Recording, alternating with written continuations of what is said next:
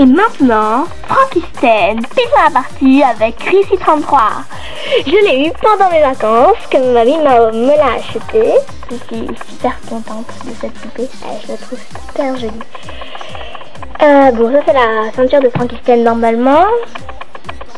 Voilà. Alors, allez composé d'un bandeau, pareil que je vous conseille pas d'enlever parce que sinon ça fait un peu... Euh, Les chaussons à chaque fois des poupées pyjama party sont personnalisés.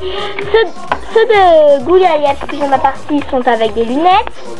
Celles de Franca, Frankisten pyjama party sont avec euh, des boulons.